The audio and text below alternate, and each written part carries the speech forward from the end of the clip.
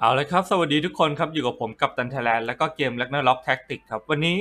เป็นคลิป React นะฮะ แล้วก็รีวิวไปด้วยกันเลยนะครับสำหรับตัวละครตัวใหม่ฮะ ที่ชื่อว่า d a c u l a นะครับผม ตัวละครตัวนี้นะฮะ เข้ามาวันนี้เองนะครับ ช่วงเช้าๆนะฮะผม เป็นตัวละครเผ่าค้อนนะครับธาตุไฟ ซึ่งบอกเลยว่าเก่งมากนะครับ ตัวละครตัวนี้หลังจากที่อ่านคร่าวๆนะฮะ มันเก่งยังไงเดี๋ยวมาฟังผมอธิบายแล้วกันนะครับ เจ้าตัวละครตัวนี้นะฮะมาดู skill กันก่อนแล้วกันนะครับ skill แรกนะครับบอกว่าทำ damage นะฮะไป 2 เป้าหมายนะครับ ที่มีเลือดน้อยที่สุดนะครับ ผมก็จะโดยส่วนใหญ่ถ้าสมมุติว่าเป็น skill เปิดเนี่ยมันก็จะเล็งไปที่ตัวหลังอยู่แล้วคอร์ส6นะครับผมใช้คอร์สเนี่ยไม่เยอะไม่น้อยนะครับคอร์ส6แล้วก็นะครับผม skill นี้เนี่ยจะลด cooldown ลงครึ่งหนึ่ง ถ้าสมมุติว่าฆ่า monster ฝั่งตรงข้ามได้นะครับผม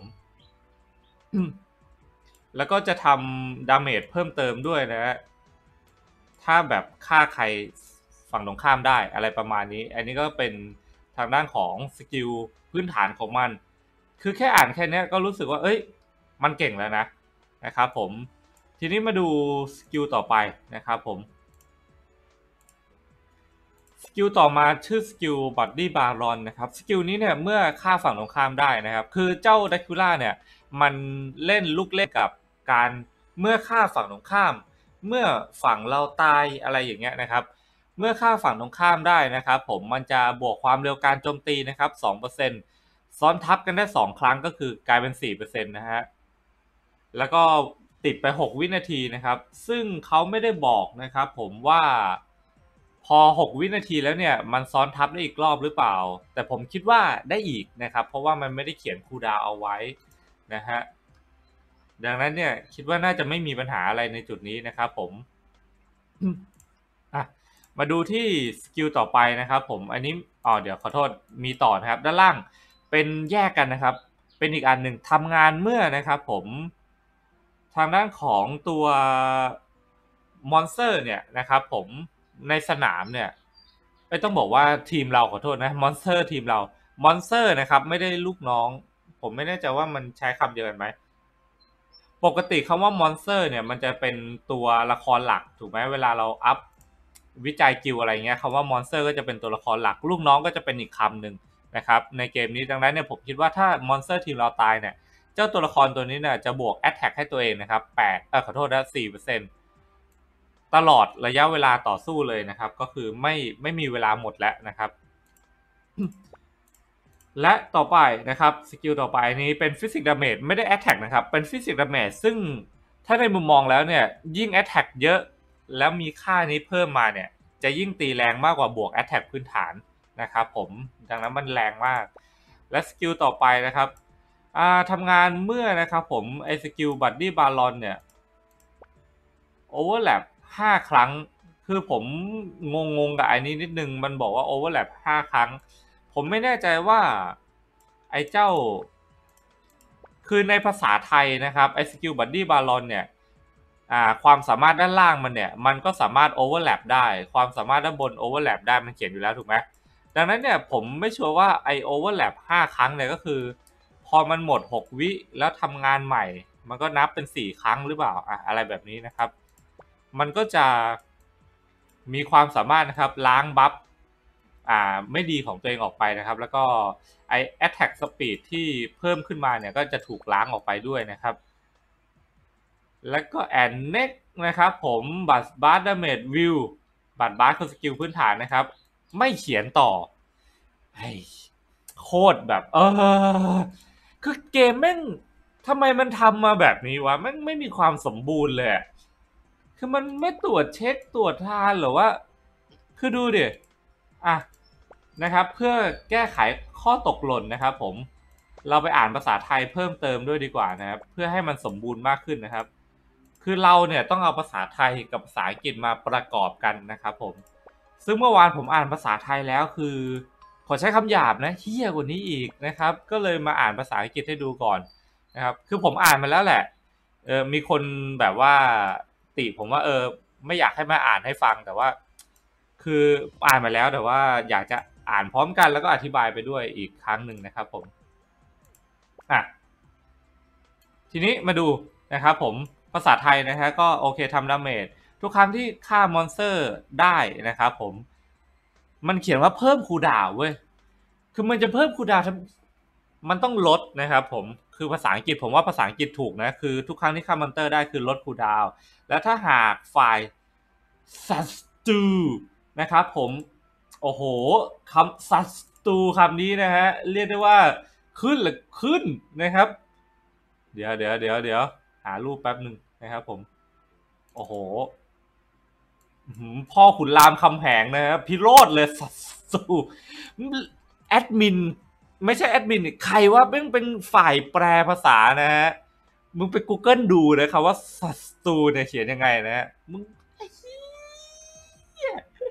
พ่อขุนรามคำแหงไม่พอใจในการเขียนภาษาไทยของมึงนะครับผมโอเค หากฝ่ายศัตรูนะครับ สร้างความเสียหายให้ผู้ดิผมว่าแม่งแปลมั่วแล้ว ตรงนี้คือแปลแล้วอ่านไม่รู้เรื่องเลย หากฝ่ายศัตรูฆ่าสร้าง ผมว่าเมื่อฆ่าฝ่ายศัตรูได้เนี่ย สร้างความเสียหายให้ผู้ติดตาม ละมั้งร้อยเก้าสิบเปอร์เซ็นต์ attack นะ ให้ผมเดาก็คือ ไอ้สกิลสกิลปกติของมันเนี่ย จะไม่ทำ damage ใส่ลูกน้อง ผมคิดว่านะ น่าจะไม่ทำ damage ใส่ลูกน้อง คือผมพยายามเปิดแล้วมันยังเปิดไม่ได้นะครับผม เออ แล้วก็เมื่อถ้าเราฆ่าตัวบอสได้เนี่ย มันก็จะทำ damage ใส่ลูกน้องตามให้ด้วย แล้วก็ถ้าฆ่าได้ก็ลด cooldown ให้ห้าสิบเปอร์เซ็นต์นะครับ ไม่น่าเพิ่มนะ คิดว่าน่าจะลดเพราะว่า cooldown มันสามสิบวิ คือถ้าไม่ลดไม่เพิ่มเนี่ย มันใช้ได้ครั้งเดียวนะ แต่ถ้าลด cooldown ให้ก็มีโอกาสใช้ได้สองรอบนะครับผมอะต่อนะครับ หลังจากฆ่ามอนสเตอร์ใดๆก็ตาม Attack Speed ซ้อนทับด้วย 2 ครั้งต่อด้วย 6 วิ เพิ่มการโจมตีทางกายภาพถาวรเมื่อหลังจากมอนสเตอร์ใด ๆ ภาษาอังกฤษเขียนว่ามอนสเตอร์เพื่อนร่วมทีมตายนะครับ ผมเนี่ยซ้อนทับด้วย3ครั้งเนี่ยคือผมคิดว่าเนี่ยอันนี้2อันนี้3มันก็เลยมาเป็นเหตุผลของอ่าสกิลนี้นะครับผมเมื่อสกิล Bloody Baron จำภาษาอังกฤษได้ไหมเมื่อสกิล Bloody Baron คือสกิลนี้นะ Bloody Baron ทำงานซ้อนทับ5ครั้งมันจะล้างเอฟเฟกต์ สถานะผิดปกติบนตัวเอง แล้วก็ Attack Speed อะไรพวกนี้ของ Bloody Baron นะครับ แต่ว่าภาษาไทยเขียนแล้วเหมือนกับไอสกิล Bloody Baron ซ้อนทับได้เพิ่มอีกนะครับผมแม่งงงกว่าเดิมอีกนะฮะอ่าเมื่อซ้อนทับครบนะครับ สร้างความเสียหาย Blood Bath เนี่ยบวกร้อยหนึ่งครั้งนะครับผมก็คือผมคิดว่าเมื่อสกิลนี้เนี่ยทำงานครบนะครับ แล้วให้สกิลนี้ทำงาน สกิลพื้นฐานของเราจะแรงขึ้นอีกร้อยเปอร์เซ็นต์นะครับ ก็แรงจัดแรงมากนะครับ ผมปกติก็แรงอยู่แล้ว อันนี้ไม่มีอะไรเหมือนเดิมนะครับผม ทีนี้ผมอยากให้ข้อมูลเพื่อนๆเพิ่มเติมนะครับอขอใช้ภาพนะครับของคุณอ่าปรปักยูเนียมนะฮะที่อยู่ในกลุ่มนะครับผม เป็นข้อมูลอ้างอิงแล้วกัน เพราะว่าเขาเปิดได้แล้วนะครับ แล้วก็ผมขอ อขโมยมาเลยนะครับผมเดี๋ยวแป๊บหนึ่งนะ โอเค ผมขอมานะครับผม คือผมจะให้ดูสกิลที่เขาเนี่ยอ่าอัปเกรดแล้วนะครับว่าสกิลมันแรงแค่ไหนนะครับสำหรับตัวละครตัวนี้นะฮะผม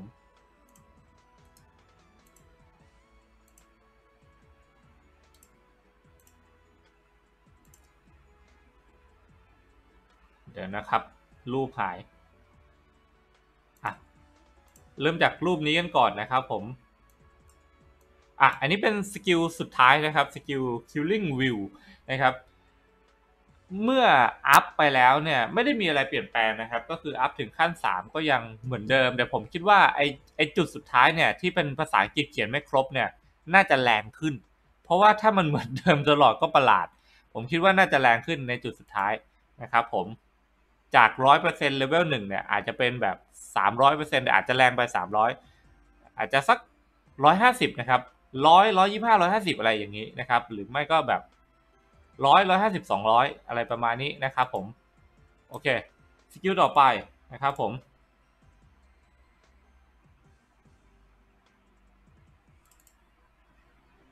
อะสกิลพื้นฐานนะครับผมแรงมากคุณดูนะ 450%นะครับ คือให้คุณนึกภาพ Doppelganger Doppelganger เนี่ย damage สกิลเนี่ย เท่ากับ Dark Illusion นะครับผมซึ่งมันแรงมากอยู่แล้ว 280%แต่อันนี้เนี่ยคือ 450%นะครับผมแล้วใส่ไป 2 เป้าหมาย เมื่อนะครับผมสกิลนี้เนี่ยนะครับผมค่าฝั่งตรงข้ามได้ลดคูดาว น์90%บ้า เฮ้ย ผมว่า50ก็เก่งแล้วนะ อันนี้ลด90%คือมันใส่ได้ต่อเลยนะ เดี๋ยวขออ่านดีๆดิเดี๋ยวอ่า this skill cooldown will reduce 90% and ทำ damage 300 to target team when เดี๋ยวนะ kill when killing enemy target by this skill โห คือถ้าใส่สกิลนี้แล้วฆ่าได้แม่งแบบ แม่งลด cooldown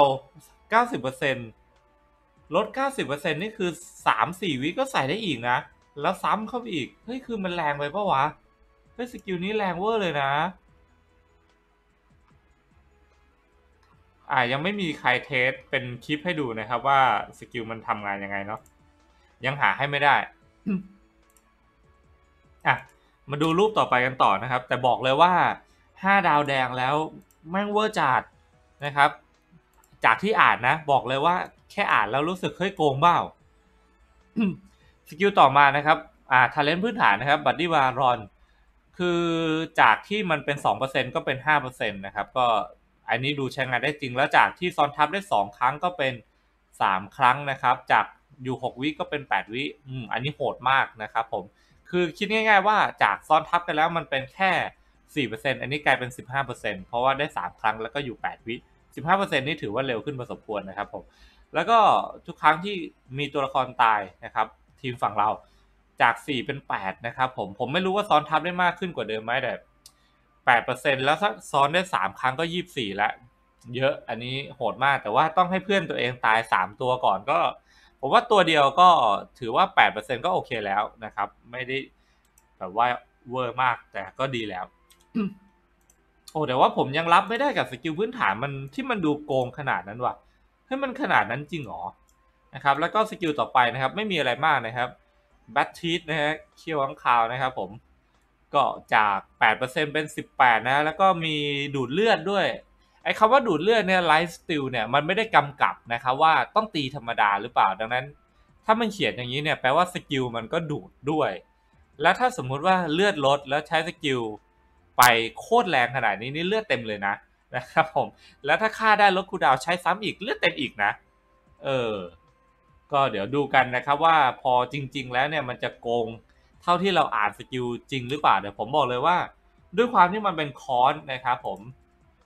ผมว่ามันเก่งแล้วแหละนะครับผมให้นึกภาพนะฮะให้นึกภาพทีมคอนล้วนนะครับผมมีอะไรบ้างนะครับ มีนี้มีเต่านะครับ แล้วก็มีดับเบิล i ิงเกอร์นะครับผมมีทางด้านของตัวเด็กคิล่าแล้วก็มีเจ้าตัวนี้นะครับผมมูนไลท์ คือเรามี2ดาเมจ3นี่นะครับ รวมดับเบิลเกอร์ด้วย แล้วก็มีตัวชน มีตัวฮิลมีธาตุไฟ2ธาตุมีธาตุดิน 2 อันนะครับ มีน้ำหนึ่งมีมืดหนึ่งเราสามารถทำทางด้านของตัวดูมเดย์ได้ไม่ยากนักนะครับผม เพราะว่าธาตุมันค่อนข้างพร้อมอยู่แล้วนะครับ แล้วก็สกายฟอร์กอตได้อีก เฮ้ยผมว่าทีมเนี้ยโหดนะครับ แต่ประเด็นคือผมไม่มีทั้งมูลไลท์ไม่มีทั้งเดคิล่าผมพยายามเปิดแล้วนะครับ แต่มันไม่ได้ ผมยังไม่เปิดหมดก่อนเพราะว่าตอนนี้เนี่ยผมอัดคลิปก่อนที่เซิร์ฟจะปิดนะครับ ช่วง9โมงนะฮะผมไม่รู้ว่าเดี๋ยว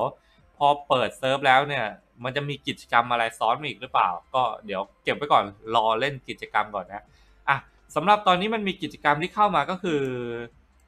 ปั้นแดคิล่านะครับให้เป็นสีดาวแดงนะครับ ผมก็จะได้ของรางวัลตามนี้นะครับ ตามที่มันบอก มาดูกรอบรูปกันหน่อยดีกว่าว่ากรอบรูปแดคิล่าเป็นยังไงนะครับ นี่เฮ้ยผมว่ากรอบรูปเนี้ยสวย ผมแอบดูมาแล้วนะครับ คืออะตอนแรกเนี่ยมันมีกรอบรูปของตัว Night of Windstorm นะครับผม ก็เป็นอันนี้คือผมว่า Night of Windstorm เนี่ยหรือ Tommy Night เนี่ยสวยแล้วนะครับผมส่วนมาถึงกรอบรูปงูนะครับ ไม่สวยสำหรับผมกรอบรูปงูคือไม่สวยนะครับ แต่ดักคิล่าเนี่ยผมว่าเจ๋ง มันมีแบบข้างคาวบินบินอะแล้วมันแบบเห็นชัดเห็นไหมว่าข้างคาวมันบินขึ้นมาเยอะอะนะฮะผมว่าเนี้ยสวย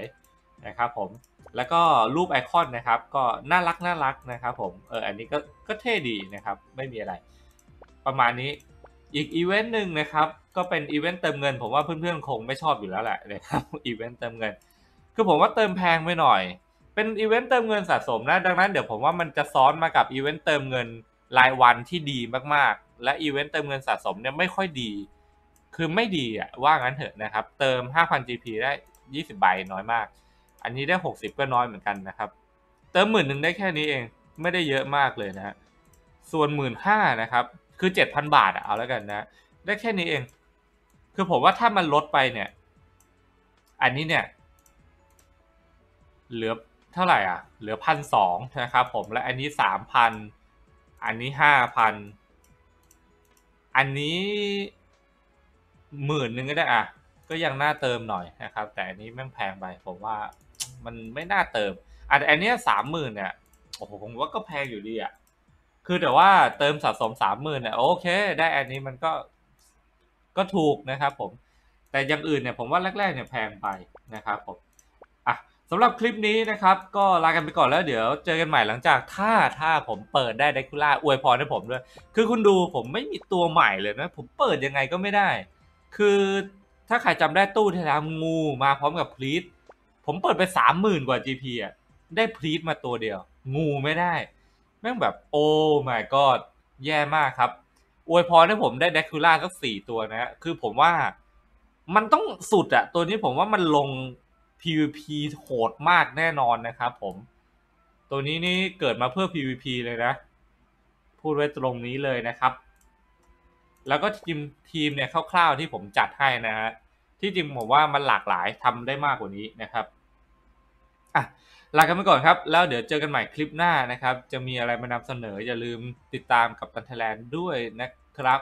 ตู้เดคิล่านะมาพร้อมกับ Dark Lord นะก็เป็นแบบพวกแบบ นั่นแหละนะครับ ผมเป็นพวกหลอดต่างๆนะ Dracula Lord Dark Lord นะผมมี Dark Lord 5ดาวแดงแล้ว แต่ถ้าเปิดได้ซ้ำก็โอเคนะครับ จะได้แบบสับจาก Dark Illu 5แดงมาเป็น Dark Lord นะครับผมอะไรอย่างนั้นถ้าได้ซ้ำเยอะ ไปแล้วครับผม สวัสดีครับ แล้วเจอกันใหม่คลิปหน้าไปแล้วครับ